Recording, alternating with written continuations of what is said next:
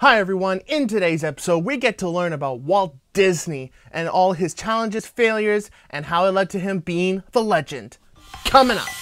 In today's episode, you're going to feel empowered, unstoppable, and gain the tools to accomplish anything you can dream of, using real examples from some of the most successful entrepreneurs in the world.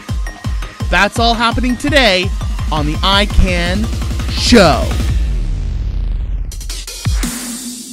What's up, everyone? My name is James Martin, and welcome to once again the very first episode of the I Can Show podcast, the show that showcases the realm of possibilities and how you can succeed in your passion. I'm super excited to show you about all the different things that we can do together. It's super important that you understand that no matter where you are in life, no matter what your interest, or your passion is, it's very important that you do understand there's always a way to make a living, there's always a way to make a career out of what you're interested in doing.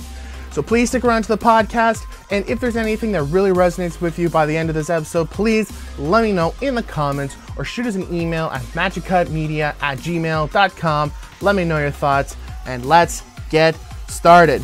So, today we're going to talk about Walt Disney, and the main reason why I really wanted to talk about Walt Disney in the very first episode was because, to be honest, Walt Disney is like my favorite entrepreneur in the history of mankind. Like, the guy's a legend, okay? And just it's everything about his beliefs, his philosophy, and the environments that he creates just really, really gets me and chokes me up sometimes. So I really wanted to dedicate the very first episode to him because I mean, again, the show is all about thinking about the realm of possibilities. I mean, he went beyond the realm of possibilities. Like he did everything in his possible power, and it's just I won't spoil too much, but let's get into the episode and I'll tell you all about it. So. To give you a bit of an idea on where Walt Disney started, so Walt Disney was born December 5th, 1901, and he was born in Chicago, Illinois to Elias and Flora Disney. Walt showed an interest in drawing in his childhood and would often copy cartoons and even sometimes got paid to draw sketches for other people. At age 10, Walt and his brother Roy were delivering newspapers. The two brothers would do that for the next six years. Walt took any chance he could to draw cartoons, such as drawing for his school's newspaper, and eventually joined the Chicago Academy of Fine Arts to further pursue his passion. Later, Walt attempted to join the army to fight in World War I, but didn't get in for being too young, but he joined the Red Cross as an ambulance driver in September 1918. This is where it gets interesting. His early career started in January 1920, so he was 19. He launched his very first business as Iwerks Disney commercial artist. So they both started up this business, but it never attracted any customers, so both Iwerks and Disney had to quit their business and found work at the Kansas City Ad Company. In 1921, Disney partnered with a co-worker named Fred Harman to start a new business that would produce short cartoons known as Newman's Laugh-O-Grams. Unfortunately, the studio fell into bankruptcy just two years later. Now that's that's kind of interesting to me because I mean I'm actually not too much older than how than Walt Disney was at that point. First two businesses utterly failed. Kind of interesting. October 1923, Walt and Roy founded the Disney Brother Cartoon Studio, which later would become the Walt Disney Studios and Walt Disney Productions. This is where things really get interesting. This is one of my favorite stories to talk about whenever it comes around Walt Disney. So, for those of you who are writers, for those of you who are filmmakers, something that you need to understand about people that create characters, that create stories, it gets very, very personal. Artists usually tend to get very, very drawn, very close to, well, their art. So it can get very difficult, especially if you're put in the situation that Walt was going to get himself into. In the 1920s, Disney's was introduced to Charles Mintz, an American producer and distributor, after the two worked on releasing his Alice in Wonderland short films beforehand. In 1927, Charles would present Disney with a deal at Universal Studios to work with his partner Iwerks and would create Oswald the Lucky Rabbit. It was a peppy, alert, saucy, adventurous character. The plan for Oswald was to produce a series of short cartoons during the 1920s and 30s.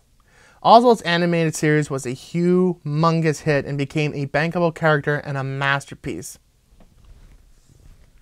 So already we're getting to see Disney's very first success.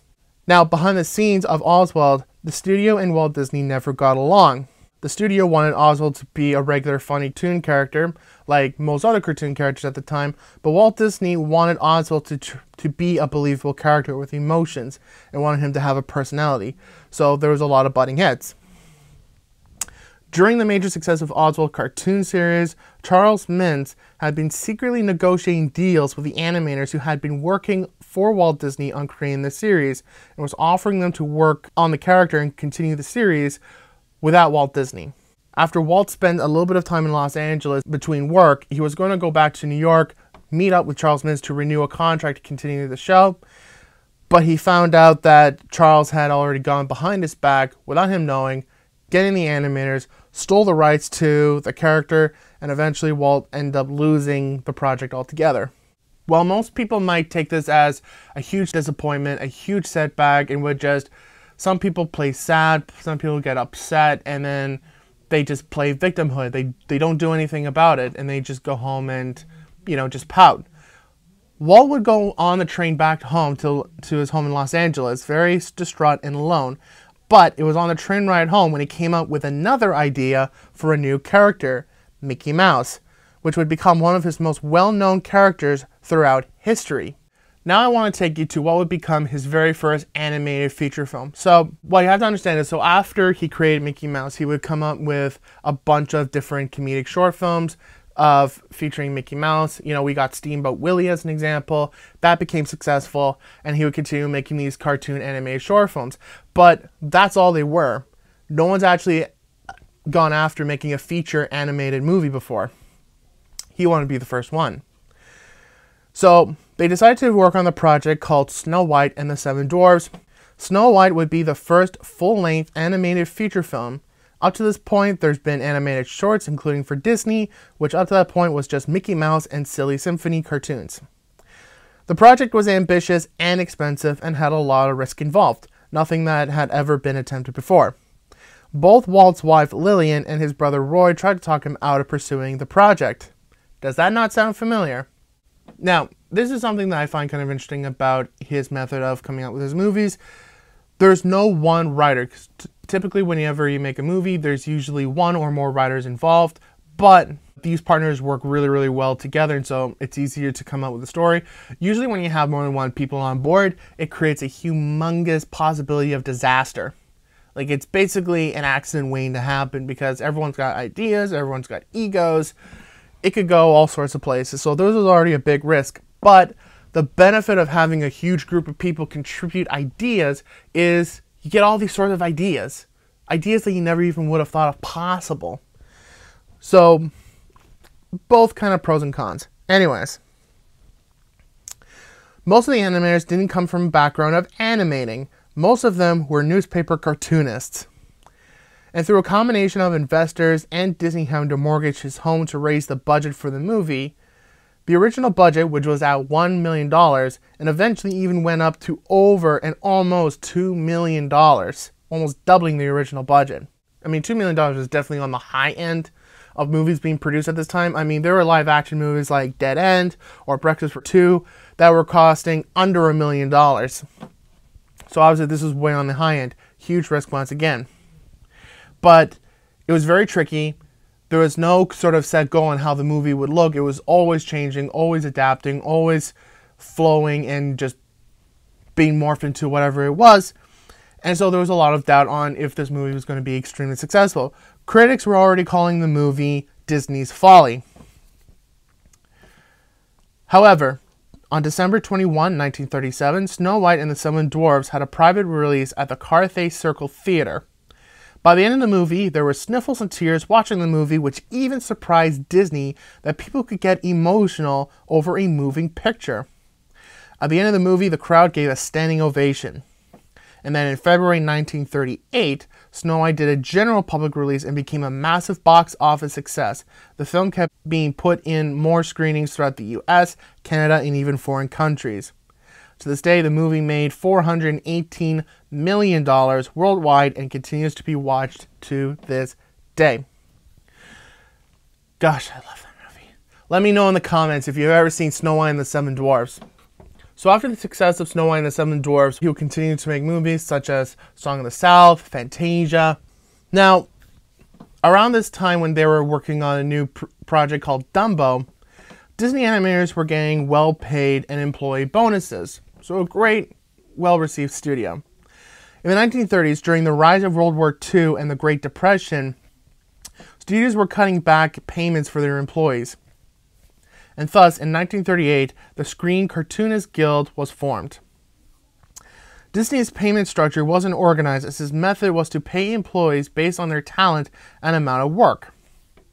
Some employees were getting $300 a week, while some were getting $12 a week.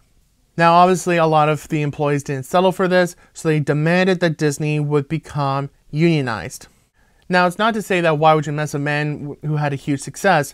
The thing was, so he would release Pinocchio in February 7, 1940, and Fantasia in November 13, 1940. Both of them bombed at the box office, and not even Snow White could save them.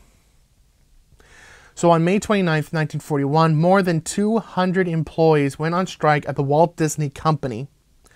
Walt's belief is that the more you put into your organization, the more privileges you should earn. Obviously, that didn't settle well for them, so at one point, Walt Disney ended up taking a vacation with his family, and Roy opted to settle the strike.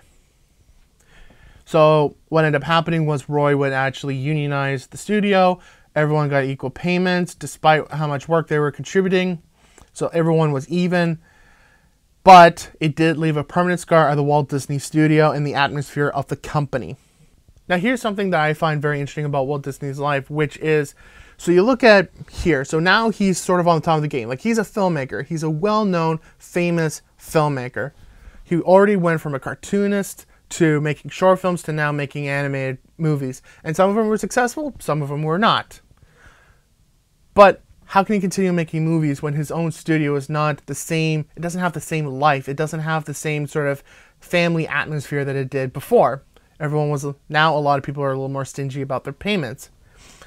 This is what I like about Walt Disney. This is what to me the true meaning of entrepreneurship actually means because it's not so much about sticking to like oh I have to be a filmmaker by the end of life and therefore you do it because sometimes life changes such as what Disney would experience. So often he would disappear from making the movies and would spend time with some friends that were making like these animated trains. And when I say animated trains, I'm talking about like these train models that were not so much like toys, they were a, little bit bigger that you could just kind of sit on and ride around on tracks in the backyard. He was fascinated by this. He also wanted to create a clean and fun amusement park where children and families could actually enjoy themselves.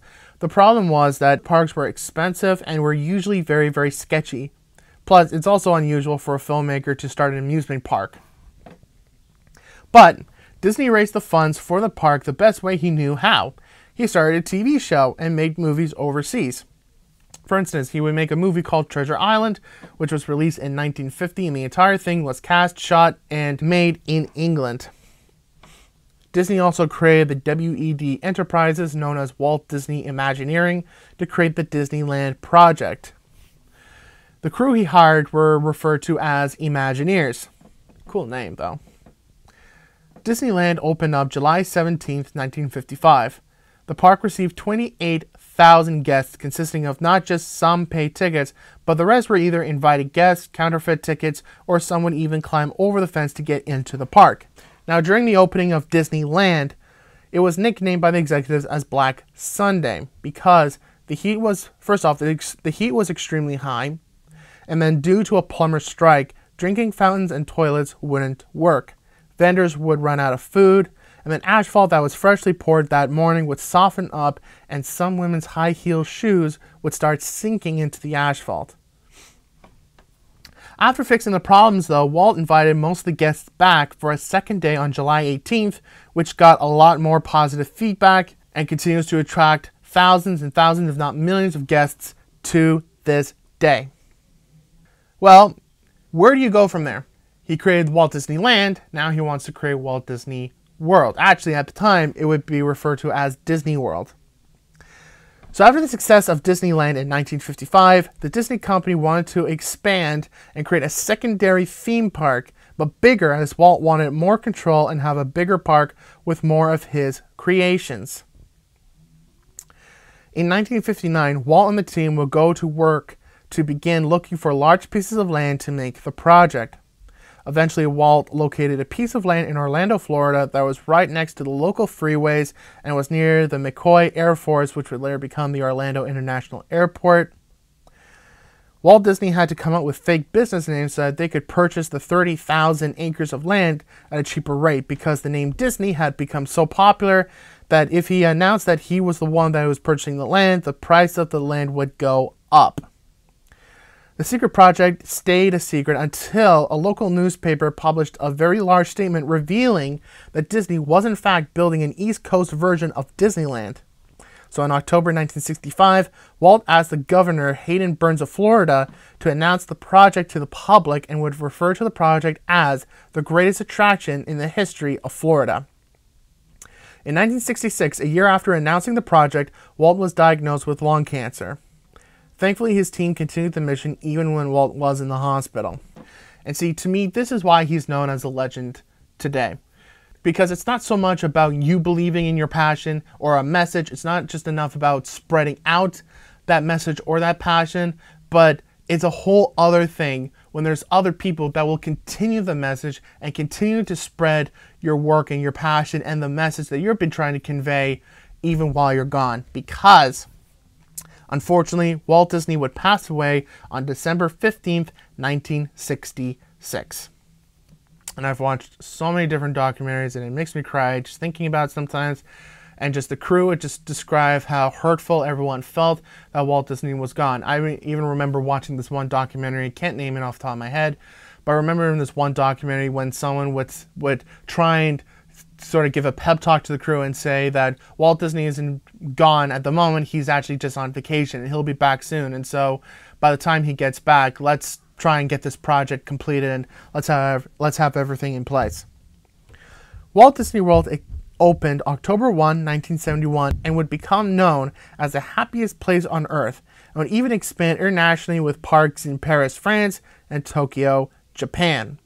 Love, love, love Walt Disney. So, I want to hear from you right now. Is there anything that you heard from Walt Disney's story or his life that really just inspires you? If there is, I want you to let me know down in the comments wherever you're watching this podcast or listening to it. Or you can just send me an email to magicupmedia at gmail.com. I want to know your thoughts.